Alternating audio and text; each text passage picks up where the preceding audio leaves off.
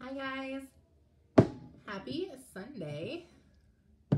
Okay, so I'm to start out with my small, my hair is doing something, a small business shout out. Um, so this lady is actually someone I reached out into on Instagram. I saw a couple of her books and I thought they would be really fun to review. They go right along with my brand and my passion. You guys know if you've been following me, I am so passionate about giving your kids a solid foundation when it comes to the Bible and when it comes to growth mindset. So if I can find a product that does both, I pretty much jump on and like shout it from the rooftops. So her name is Mandy Fender. She has several different books. She sent me four of them. So I'm just going to show you the four real quick. Then we're going to get into journaling, which I'm so excited about showing you. I'm going to show you my December spread. I'm also going to show you last year's December spread and just kind of how you can mix the two if you want to and just answer some questions. Hi, Kat. So if you guys have any questions when it comes to journaling, go ahead and drop them in the comments and I will try to answer them as I go along. Um, but I want to show you these four books real quick. The first one is called The Whole Armor of God. It's a Bible study for kids. And it just has different lessons. There are places that they can journal the Bible verses that they're memorizing. Um, this would be really, really good for like a devotional one-on-one with your own kid or one-on-one like a mentorship. Um, this talks about drawing the belt of truth. So it goes against the whole, goes through the whole armor of God. Um, draw your breastplate of righteousness, your shoes of peace, and it just goes through the whole thing. Um, and then there's a few cute little crafts in there. There's a couple little activity sheets that they can do. So the whole thing is just talking about the armor of God. The next one is called Mighty God Girls. This one I love. Um, same thing. This would be a one-on-one -on -one with your own kid. And it talks about girls are unique.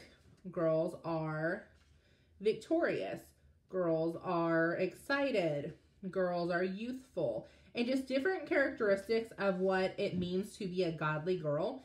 And then it goes through, shows them where it's found in the Bible. It has a little devotional. And then it has a verse to go with it. And then also in the back, which I thought was really cute, there's a bunch of cute little coloring pages for them as well. So I'll link everything below um, so you guys can find her. The other two, guys, if you're on here from the team, would you mind sharing this into the team pages and the team chat, please? The other two are devotionals. There's a pumpkin devotions, which would be a fall devotional, and there's gingerbread devotions, which would be a Christmas style devotional. Now, these would be awesome to use in your own house or if you are a Sunday school teacher or junior church teacher. Um, it goes through, each one has a lesson, it has verses that go with it, of course. It has craft ideas that you can do with that lesson. And then the back, again, has several coloring sheets that you can copy and use in your class. And the pumpkin one is the exact same way. So highly, highly would recommend these books if you have kids or if you are a teacher, either one. Again, her name is Mandy Fender. I believe that's her name on Instagram, but I will link everything down below when I'm done uploading this. And I wanted to show y'all just real easy how I keep tracking, how I get so many things done daily, weekly, monthly. Like my husband and I are always checking goals off of our list, and I fully believe this is a huge reason for it. Um, you want to say hi? Come here. You want a question? Quickly. Say hi. All right, go. Not right now. Go with dad. She's hanging out with her dad for the afternoon. Um, so when it comes to journaling, first off, drop me a one if you regularly do journaling. It doesn't matter what it looks like. Everyone's journaling looks different. Yours doesn't have to look like mine and vice versa. Um, I will show you.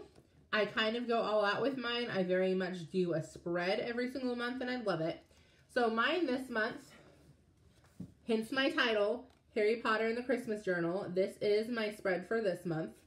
And I'm just going to walk you through. So I'll be perfectly honest. I do two hour journaling sessions pretty much every single day. But it's not just journaling. Like it's journaling, devotional, reading. It's all all together.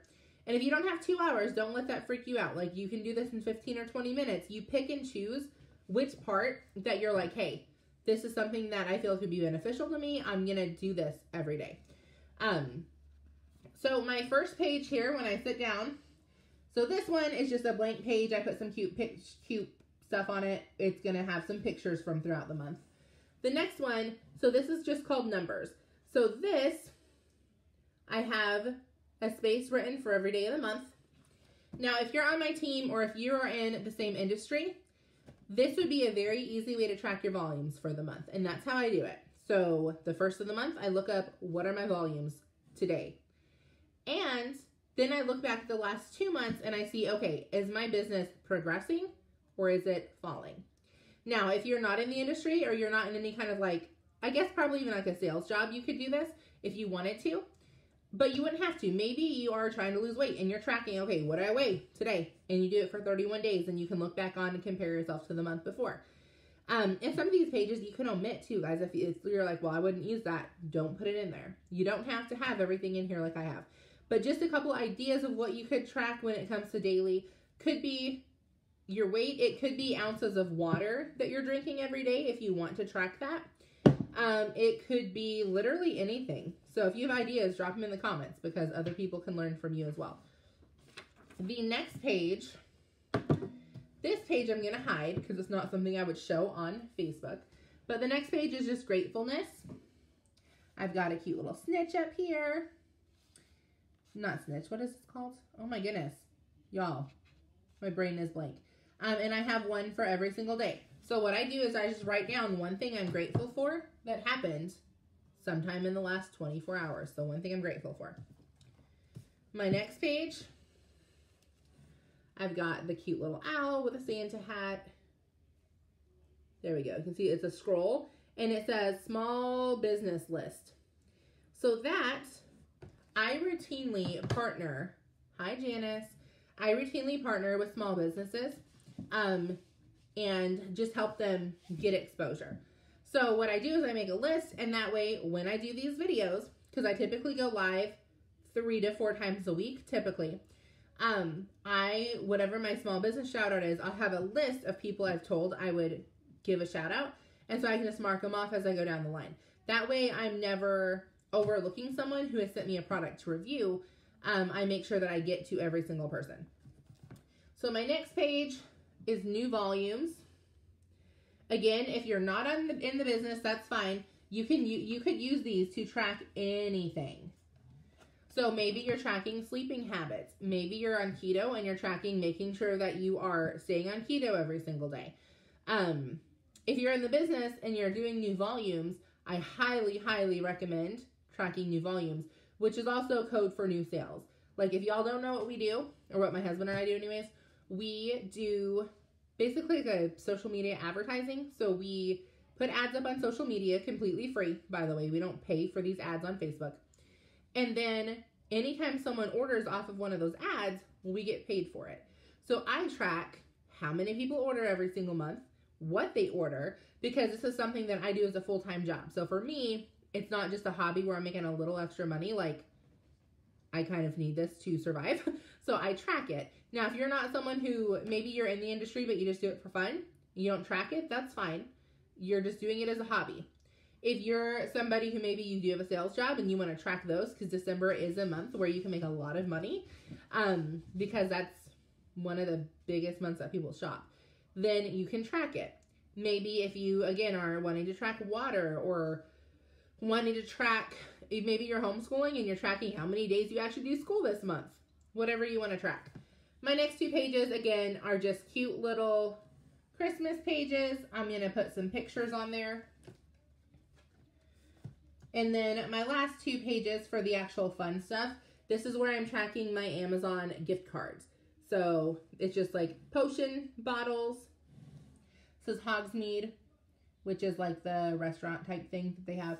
So what I'm doing with this one is I'm I work with a app that I get free Amazon gift cards. And by the way, this is open to anyone. So if you want to do that, message me. That is completely free. It's just an app that you download. And then you start earning Amazon gift cards by scanning certain receipts. So I earned 70 some dollars worth in November. So I'm just tracking. My goal is to earn one Amazon card a day.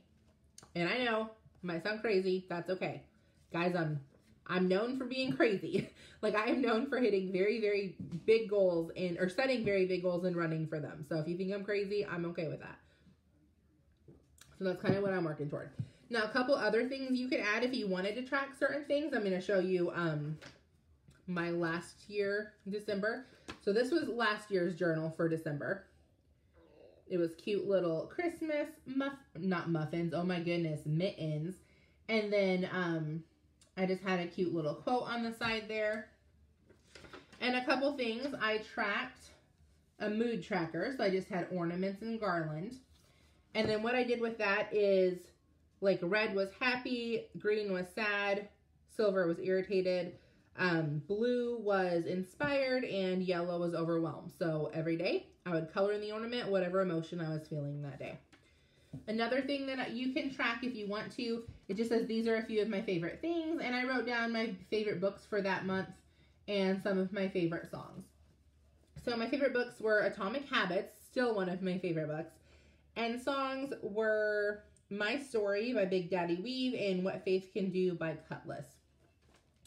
I had a shopping list of things that I wanted for Christmas or before Christmas or after Christmas, just things that I would come up and like, oh, I, you know, I wouldn't mind getting a few extra of these. So I think everything except one of them I ended up getting between now and then, not necessarily for Christmas.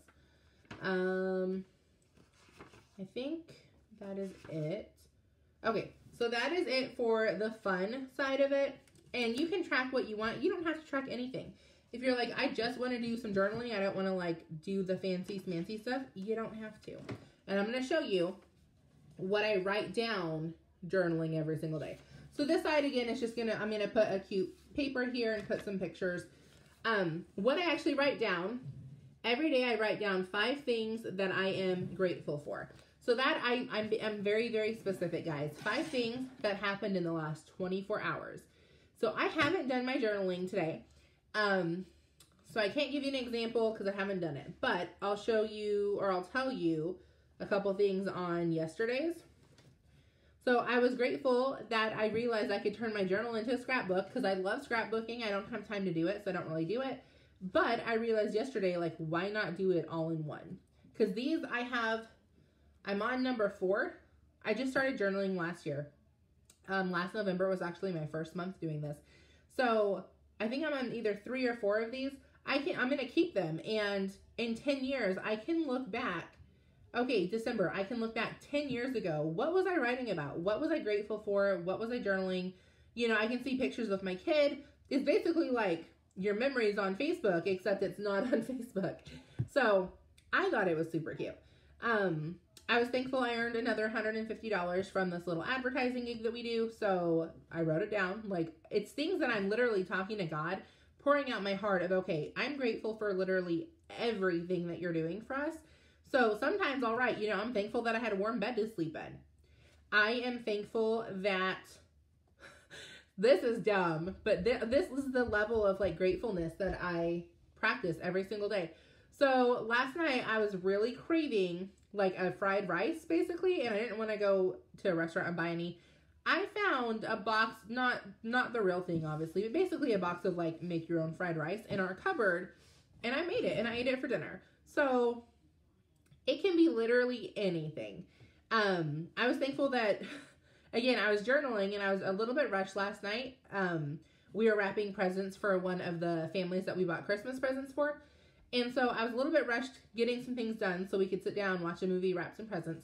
So Glory was taking a bath when I was journaling, and one of the things I'm thankful for is that she's old enough to take herself a bath now instead of me doing it for her. Like she's six, so she's pretty independent on most things.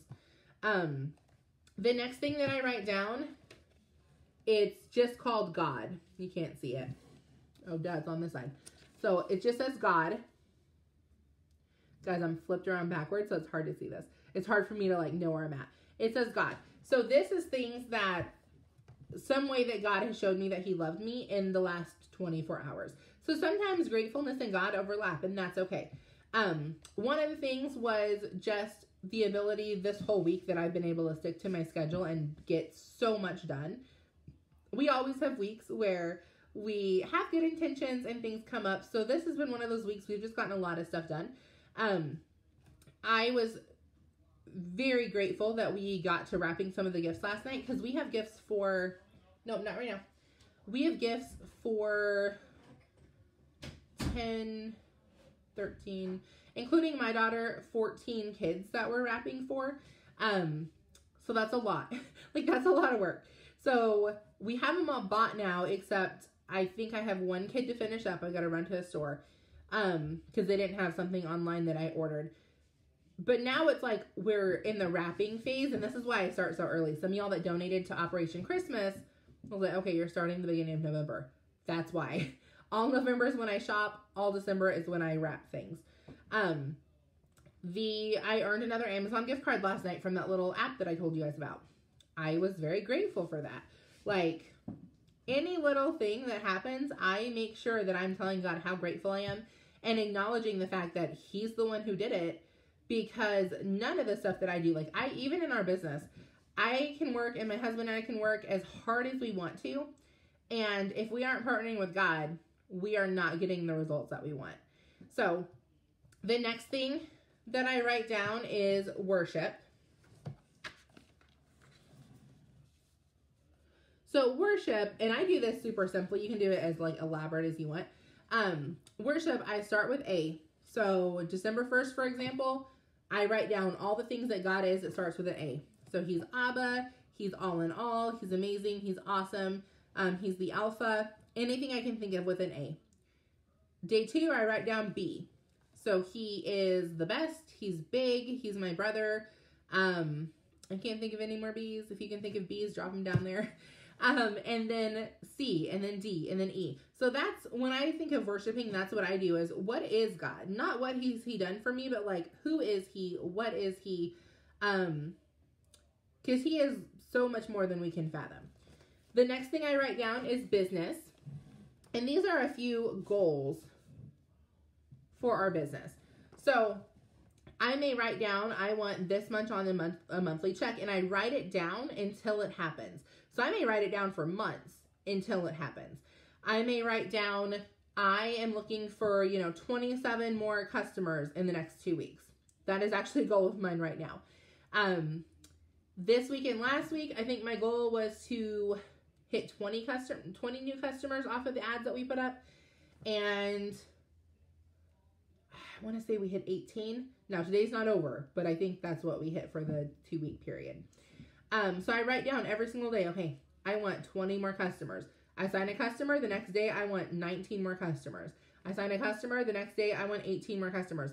And I'm praying about them as I write them. So this is stuff that I'm writing down as a goal, but then I'm asking God to partner with me and have the right people see my ads and have the right people reach out to me when it comes to working with us and interviewing. Because a lot of times, just because someone reach out doesn't mean that they're qualified to do the business. And we'll tell them that. Like I'm not going to tell anyone, "Oh yeah, you'll be great at this," if they're not actually going to be great at this.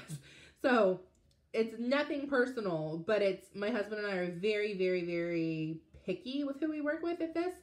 So if we're gonna coach you and really help you make money online, you've got to be coachable and you've got to be a hard worker. So a lot of times it's just not something that we feel is a good fit, and we'll tell you that. Um, then I write down action. So what are two or three things that I can do today to get me closer to my business goals?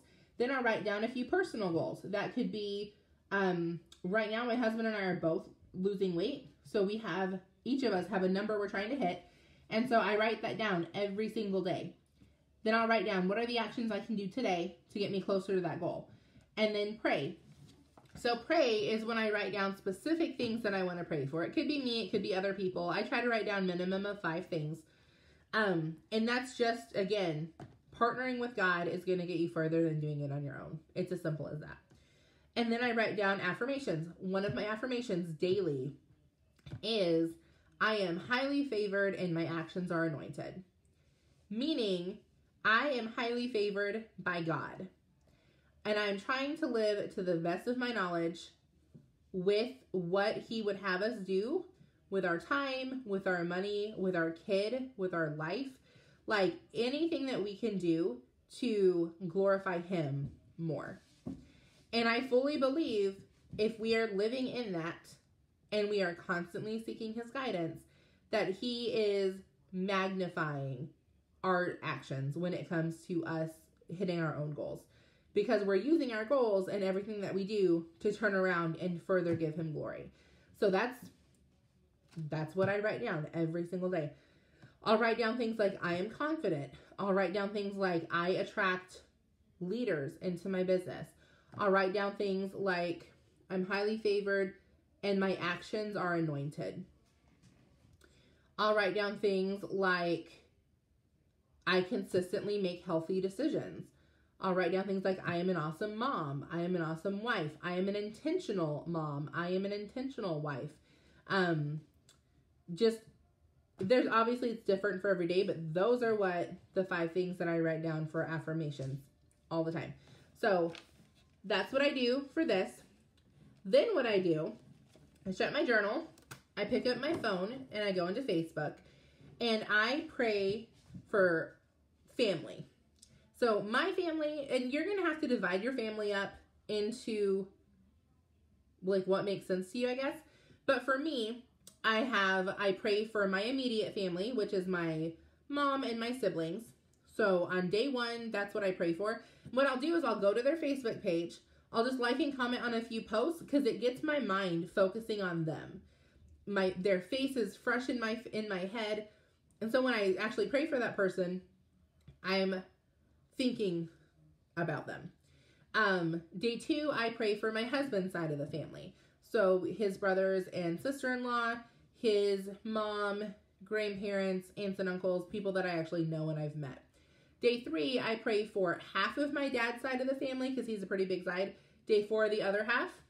And then day five, I pray for my mom's side of the family because I don't know my cousins and stuff that well and I know less of them. Like my dad's side of the family we grew up with, so I know a lot more of them. So I rotate five days and I pray for family every single day. So every day I open my Facebook, whatever branch of family I'm praying for that day, I go to their pages and I just kind of like have them fresh in my mind as I'm praying for them. And then my second part of praying for other people is I pray for five people who aren't family. So sometimes it's random, usually it's not.